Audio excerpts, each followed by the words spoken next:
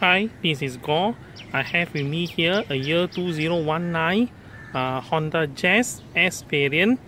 Uh, this Honda Jazz uh, is a is a continuation from the facelifted Honda Jazz that was launched sometime in 2017.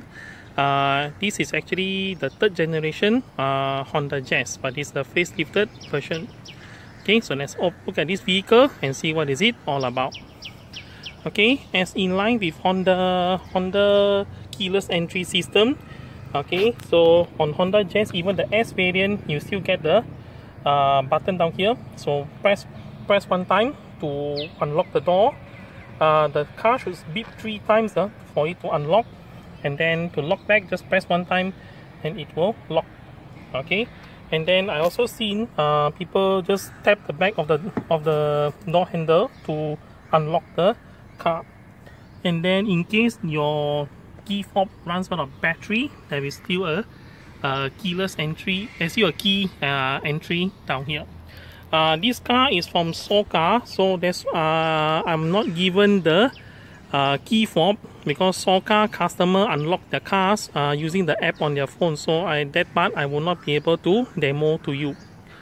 Okay so if you look at the front here Honda Jazz do come with uh, halogen reflector headlight. We have a turn signal over here.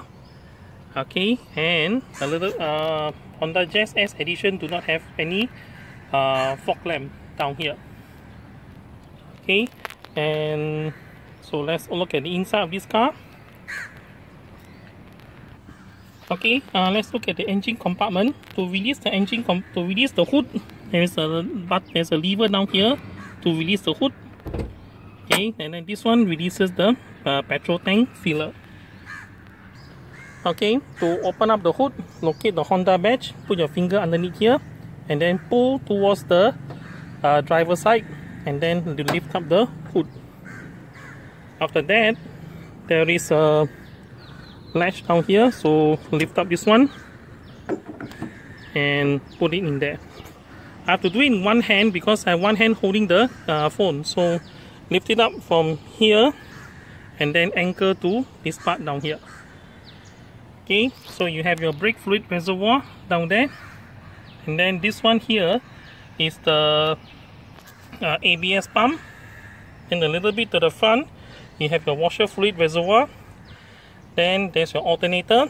And then uh, okay that is your dipstick to check engine oil level this one here is your engine oil refill uh, filler port. Then a little bit to this side you have your battery compartment and then you have your fuse box down there. Uh, this car comes with a CVT transmission. So all Honda Jazz in Malaysia are launched are equipped with only um, CVT transmission with the exception of the Honda Jazz Hybrid where they get 7 speed dual clutch transmission so let's close up this car and look at the inside. Okay, at the door trim, you get a lock mechanism. Then you have your uh, door open and close uh, handle. Then you have your power window. Uh, you have your power window control down here.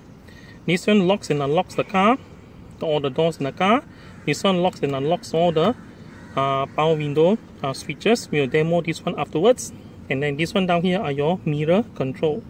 Uh, on the S variant um, you do not have the electric uh, folding mirrors. So mirrors are folded uh, manually by hand like this. Okay so mirror folds in.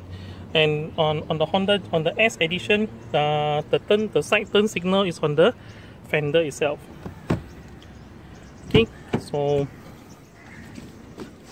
I'm inside the car. So uh, as in line with um, keyless entry you still get the engine start stop button. So to safely start up the car foot off the brakes. Okay foot off the brakes. Then press the, the start button once. The start button blinks red. Okay then press it a second time. Okay all the diagnostics now come up. Put the foot on the brake and then start up the vehicle so engine so this is the proper way to start the car uh, without bump starting the ECU Okay, so on the meter panel, you have your tachometer, you have your speedometer, and then you also have your multi-info display. Okay, so let's uh, on the multi-info display, there's uh, to adjust the the, the, multi-info display, there's only one lever up here. And the, uh, as usual, the top of the multi-info display, you get your current fuel consumption. The car is not moving at the moment, so that's so that's why you get zero kilometer per liter. Then at the bottom, this is your fuel gauge. You have a clock up here, and then the info the information display shows uh, trip A. okay, so uh, what we can do now is uh, press the lever once like this. Okay, the range changes. So now in, instead of displaying, um, instead of displaying the uh, odometer, they are, they are now displaying the range. Okay then press another one. This is your average fuel consumption for trip A. And then and then one more time. This is average fuel consumption for trip B. And then one more time. When you press down here this is to adjust the clock. So to adjust the clock you can twist the lever to the left to to decrease the time and then twist it back this side to increase back the time. So adjust that that way. And then the bottom part there say 24 hour you can change it by pressing the lever and hold it down. So you now go to off. And then this is 12 hours. Okay 12 hours is this way. Then press again. Hold it down to go to 24 hour. Press it one more time to turn off the clock and then press it down here to uh, go back to 12 hours. So I found this in 12 hours I'm going to leave it down there. Pressing one more time. It returns back to the uh, odometer. Okay um, this car itself uh, has only clocked 426 kilometers. Okay so 426 kilometers clock on this car itself. So the odometer can never be reset. So uh, if you push it down and hold on the lever you are actually resetting the trip A. So once you have trip A reset okay uh, range is still there. Range cannot be reset. Press one more time. Average fuel consumption also follow uh, being reset. Okay then uh, trip B. Trip B you can reset trip B by pushing the lever down like this. So trip B also has been reset okay to reset trip B this is for you to uh, what do they call it? For you to count uh, for you to start a fresh count on how many kilometers you have traveled in your trip. So at the start of the trip you may want to press the the the trip the reset button to reset trip B to zero. Um, what I always do is I I keep trip A on uh, service interval. That means after each uh, service I reset trip A and then after after every time I, I refuel the car I set to I reset trip B so I can count at least how many kilometers that I have traveled on this tank fuel, this tank full of petrol. But anyway, there's always a range counter. So the range counter shows uh, I have about maybe 60 percent to 70% of fuel. So I have 328 kilometers more to go. Okay, so this is the multi-info display. So I'm going to leave it at uh, at here because I I found the vehicle under odometer mode. Okay, so a little bit down on the steering wheel, there are no controls on the S variant. On the E variant, you have some uh, audio controls over here, and then on that side, uh, nothing also. But on the V variant, you have audio control here, and then you have navigation control on this side. But S uh, S uh, variant don't have any, don't have any of these. S variant comes with UV steering wheel. However, the steering wheel uh, height can be adjusted by pushing this lever here like this to release and then uh, adjust the height. So this is down and then you can push it up that way and then once you have done that, lock the mechanism. So the steering is, is uh, tilt adjustable. On the left stock you get the uh, you get the wiper control.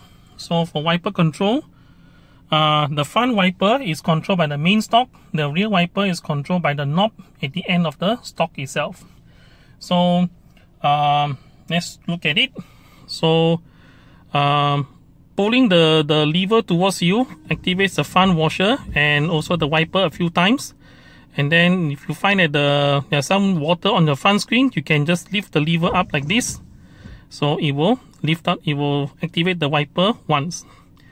And this is slow. Let me put some water on the screen first, otherwise, okay, this is slow. Slow, like this, sorry. Ah, sorry, slow is like this, sorry. Okay, this is slow. Hey, what happened? Oh, sorry.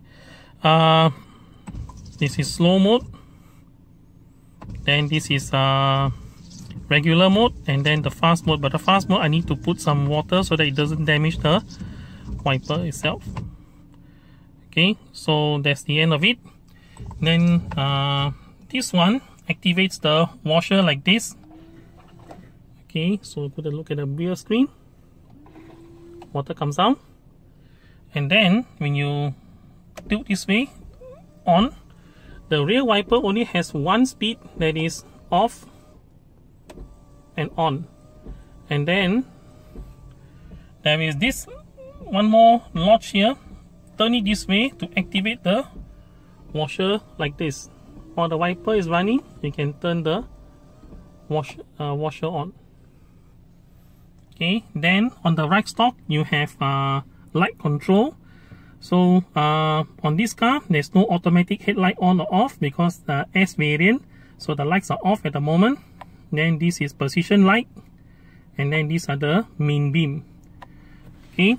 And um, if you and then Honda Jazz uh, even though the S variant they still get the lane change feature. That means you just have to tilt the the just have to tilt the lever a little bit up like this to activate. This is the left lane change. And then push it down a little. This is for right hand side lane change. So lane change feature the signal blink only three times. And of course this is the regular signal and the regular signal like that. Okay. Then for high beam you just have to push it down. And then to flash you just pull it towards you for flashing. Okay. So that is the light down there's a light control down there then on the center console you do get the hazard light switch down there.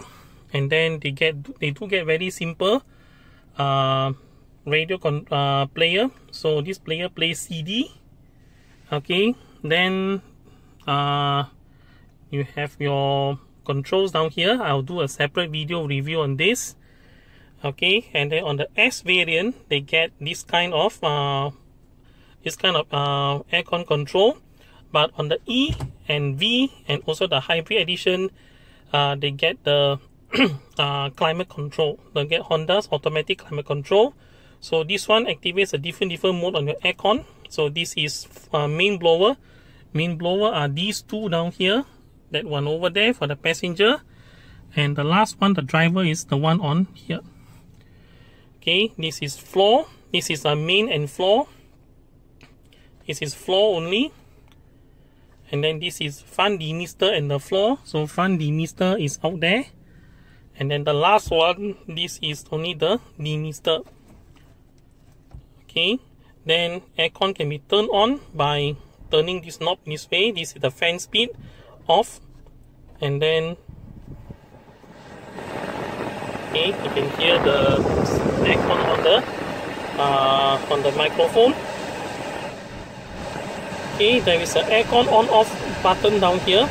So turn off this one turns off the air condition. You can still hear uh, the wind the fan blowing but it's not air conditioned air lah. it could be hot air ah. okay so press on this one it activates back the air condition.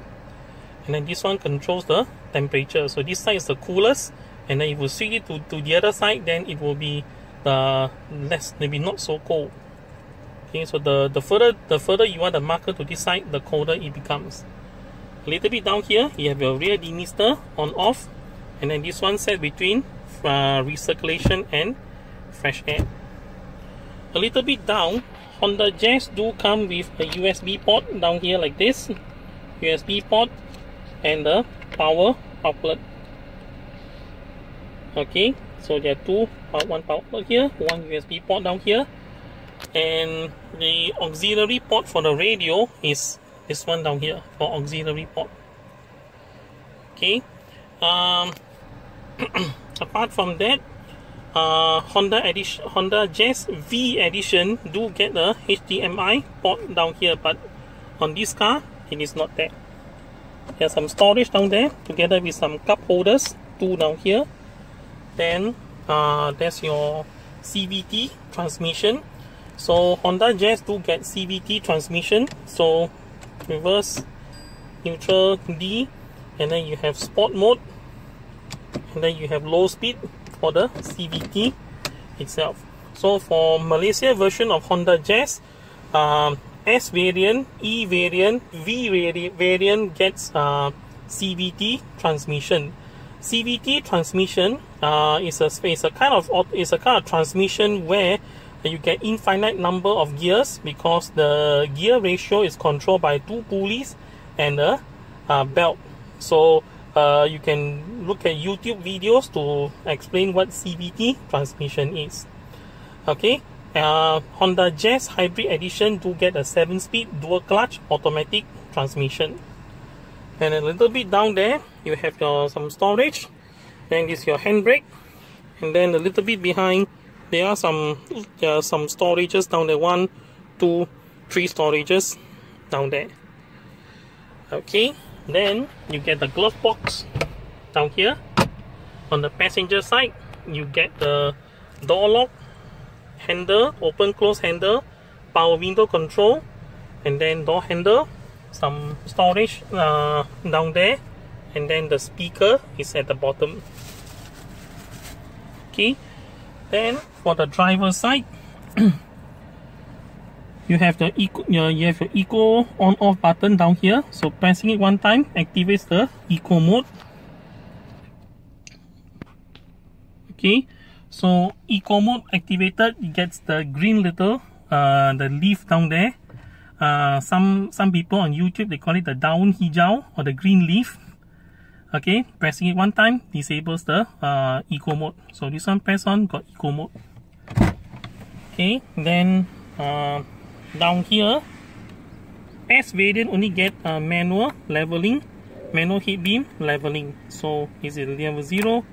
and then level 3 but this one you need to take some time for the lamp once you have selected the level give you some time for the uh, for the light to get adjusted okay so this so we move on to here um, this one I controls adjust your uh, exterior mirror okay so there's a mirror out there you can select either the left or the right mirror, right mirror push all the way to that side and then press in which direction you want the mirror to be adjusted. So right, left, up, down. Then to lock, put it to the middle. So once you put to the middle, um, the thing doesn't get adjusted. Even on that side, uh, uh, doesn't get adjusted because I have locked the mirror in the middle. This one locks the door, unlocks all the door. Okay, locks the mirror, close the door properly. Uh, okay, I didn't close the door tight enough. Lock, unlock. This one uh, locks the power window, so that means only the driver window can be activated. Then the passenger side doesn't work. Okay so release the lock. Then only passenger window can be activated. Okay so uh, the driver side window activates on the one push down and then one push uh, full, it's just he activates by one push uh, movement. Okay? Okay the upper part is made with uh, the headliner is fabric. Then there is no uh, vanity mirror on this side itself. Then there are two map reading lamp for both the uh, what they call it the passenger and the driver. And then on this side there is a vanity mirror behind this uh, behind this this uh, door visor down there. The rear mirror is the rear view mirror is manual dimming. So this is daytime. And then if you shift it down this way this is night view uh, so night view you can see the display is a bit dim. That's for night view this is the day view okay then you also have a lamp up here. So this currently is set to door mode. So that means if the door is open the light will light up. Okay so and then this is permanent on. This door permanent off down there. Okay okay so let's continue. So let's uh, look at the rest. Of the let's look at the rear of the car and the rest of the vehicle the car itself okay uh, this is the seat control. So Honda Jazz uh, even the S variant gets the uh, seat height adjuster. So you increase the seat height by doing like this. And then release the lower the seat by doing this. This one adjusts the seat back. Okay and then there is a bar underneath the uh, the seat to adjust the position okay let's continue. Down here there is the uh, you can see the vehicle VIN down here underneath here. Even the HRV and the rest of them you uh, there is still this portion down here. So lift it up. You can review the vehicle uh, chassis number or some other in other countries they called the VIN vehicle identity number. So one more thing I forgot is there's a cup holder uh, for the driver which is down here. Okay the back of the car. Okay um, I have the seat adjusted to my height which I'm uh, 178 centimeters tall. So I do get this much of leg room. Okay I do get this much of uh, headroom that's from my thumb up there to the finger at the bottom here. And then uh, yeah this car space from here uh, sorry from here from here to there that's the height that's the headroom uh, space left. Okay the this the seat the front seat do have the uh, the headrest can be adjusted up and down. And then to retract the, the, the headrest push in this button all the way to lower the seat rest but I need both hands to do it because it's quite tight uh, down here. Okay I managed to raise the seat height to the maximum. There's a maximum so maximum you just push it up from underneath here and then to retract just press the just pressing this button and then use another hand to lower the thing down. So the same goes by here but then this is this one this one is on this side. There's a seat pocket on the front passenger seat but there's no seat pocket at the at the driver end. Okay then you get your lock door hand or open and close handle door holder door handle here power window control speaker and some storage uh, down there. Okay. Then the car uh, for the seat they do get fabric seat for Honda Jazz S variant. Okay as for the rear seat belt. There are four uh, buckle down here. So this is for the side.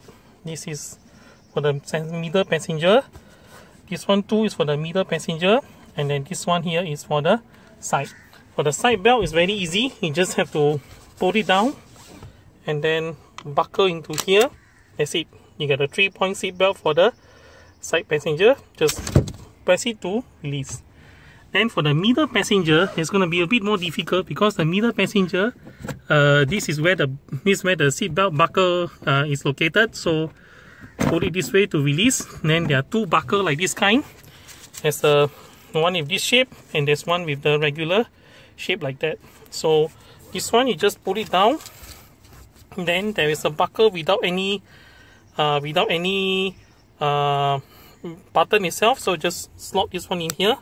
It goes in only in one direction. So uh, there is an arrow. So this arrow match with this arrow. So this is the direction where it will go in. Then you just have to take this and then put it down here. Look for the one that says center. So center goes into center like this then you get three point seatbelt one two three. To release just press this one to release.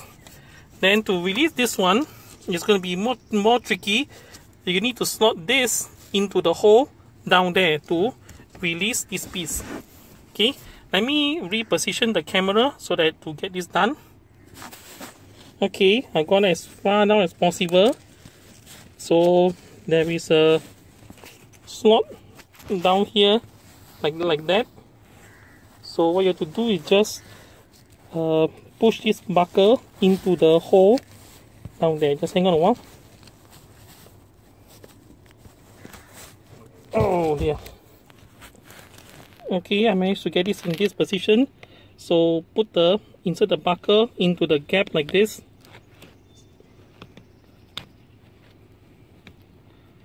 Okay and push it push this buckle into the hole to release it. Ah bit difficult to do with one hand. Okay I have managed to align it properly so this position here like that. And just push it down push it down into the hole like this. So like this uh, okay push it down and then this piece comes out by itself. After that take this after that. Just uh, raise this one back up to here. Okay so this one will be in this position. And then use this one to anchor into the hole up there. Okay so uh, so that's how it goes in. And this is the bit more difficult. Uh, so that's the uh, this part down here like that. Okay there are also uh, down here there are uh, isofix uh, isofix child seat uh, anchor point.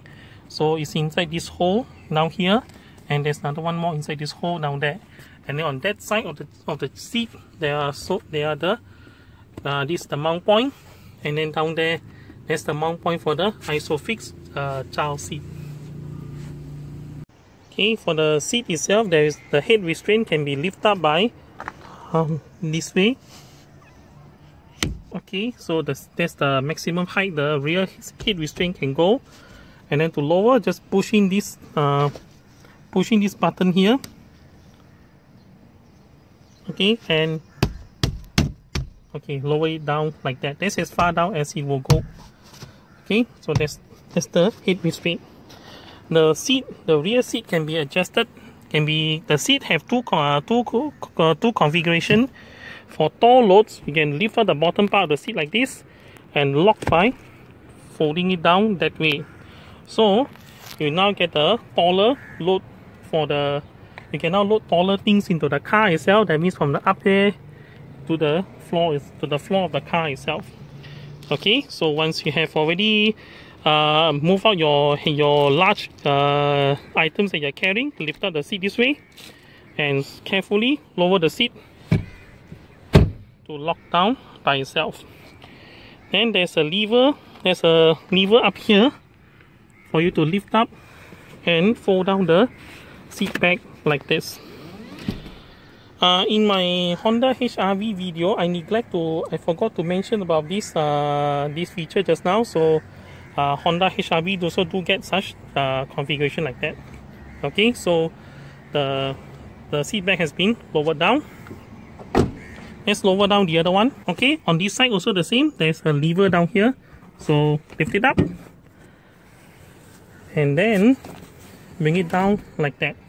So it's a one-step operation the the seat has been lowered down this way so to give you a identification how flat it is it's almost flat except that there's a little bit gradient at, from here to here a little bit gradient like that then if you can look it's quite a long load to the back down there It's the back of the car to release the tailgate just put your finger underneath the Honda badge and press the uh, trunk release uh, request. So the trunk release request is actually this uh, this one down here in here. So it's quite dark to see, but it is. Uh, sorry, this one cannot quite see from the camera, but you can hear the sound where the boot release uh, request is done. Okay, so the parcel shelf have two strings on this side that can be removed to uh, to lower the the parcel shelf like that. And then the parcel shelf also can be removed because there is a notch like that to release. So just lift it up like that. And then you can put the parcel shelf away like that. So with now I have converted this Honda HR, uh, this Honda Jazz to this maximum uh, uh, goods capacity. Okay uh, for further even longer load you can roll down the you can push the uh, the front passenger seat push it all the way forward and lower the seat back all the way down to get extra leg room. So extra load load space. So this is as big, far big as uh, boot space as possible okay to return back the the parcel shelf so you need to align this with this both sides okay? But I need both hands to do that so I will have to uh, stop the video.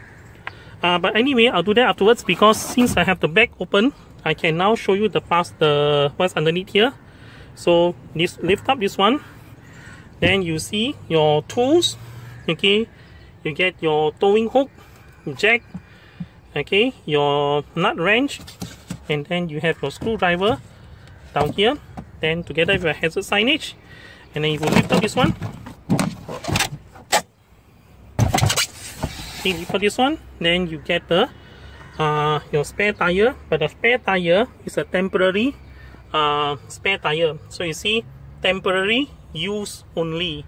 Okay and inflate to 420 kPa or 60 psi so if you have replaced the seat uh, so if you have replaced the the tires okay the the your main your main running tires may not fit in this groove down here. So you probably have to carry the spare tire on the outside of the car is on the in the boot space itself. Sorry let me repeat. If you have if you have replaced your spare tires your your running tires may not fit in this this space down here so you have, probably have to lower the seat back and carry the uh, broken tire uh, in, the boot compartment until you reach the tire shop to get it to replace. So this is just the uh, small tire to uh, a, a spare temporary running tires. Okay so Honda Jazz uh, SE variant uh, look at it uh, V, I cannot quite remember, but if you ask me to guess, I think V variant still get this. Uh, let me check it out and I'll put in the comments below. But as far as I know, uh, hybrid version uh, do have tools, do, do have, uh, they, they don't have a spare tire, they have some tools to repair the spare tire or some something like uh, instant something like last time Proton give the instant puncture repair for it, something for it to pump into the tires to seal the leak something like that. So here's what I read from the brochure from Honda Malaysia itself. Okay, let me close everything up and return the seat to its position. Uh, this is where I mean uh, uh, when you have when you have replaced the spare tire, your running tires may have to ride over here. You may have to put your running tires here because your running tires are much larger than the spare tire. So this is where you probably have to put your running tires. So you might want to fold down the seat so that you don't the, the tire do not soil your seat in this case. Okay to return your parcel shelf to the to the original position align align the the pole the the the pole there with the groove and also on this side. And once you have done that alignment you can then lower down the the parcel shelf like that. Okay to return the seat to its original position uh, make sure the seat belt is here in this position. Okay lift up this part and slam the, the seat on this on its back itself. Okay there's one thing I want you to look to know is Honda Jazz just like any other Honda itself it has two level of uh, of uh, seat back. Okay you can see better from this angle here now this one I have written and then I've lowered it to the maximum. That one I have not lowered. So if you look at the camera, okay, so you will find that that, that side there is a little bit higher. That is because when you low when you raise the seat, okay, uh, you should have hold up this lever and then lower it all the way down like that. If you do not, if you do it like this, okay without lifting up the lever yes the seat will go in place but uh, the seat will not be fully uh, up. So for fully up we need to lift up like that. So once you've done that the seat is already fully uh, up in its position. Okay so you can anchor back the parcel shelf up there itself. Okay now for the rear lights you get uh okay these are your rear combination lamp. So you have your rear LED combination lamp for the position lamp. You have your turn signal here. And then this is your reverse sensor. Uh, sorry uh, your reverse lamp not reverse sensor. Sorry uh, reverse lamp. Reverse sensor is this one down here.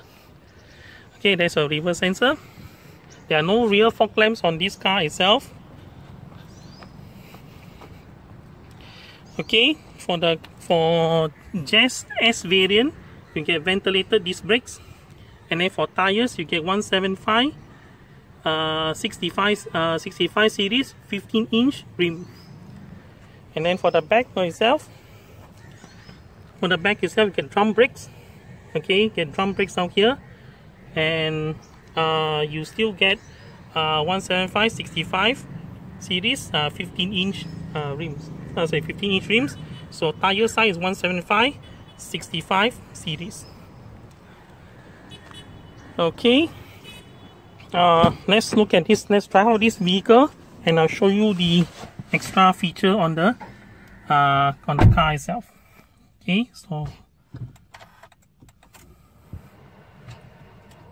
Okay so the vehicle is already start up. As you can see that there's blue lights on both ends of the uh, meter itself indicating that the car is running uh, not very efficiently on its fuel itself. So because the car is not moving so this part here is in blue. Same like the other Honda cars uh, except that the other Honda cars you have the whole meter which is in the same color. So for S variant uh, you only see both sides in blue. Okay I have moved the car a little bit so now uh, now now the car shows green color at the side of the meter of the speedometer showing the car is running on eco mode.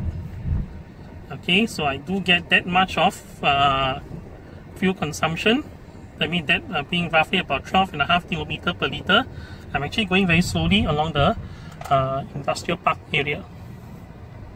Okay so okay so if I accelerate it will turn blue a while and then after that it will turn back to green.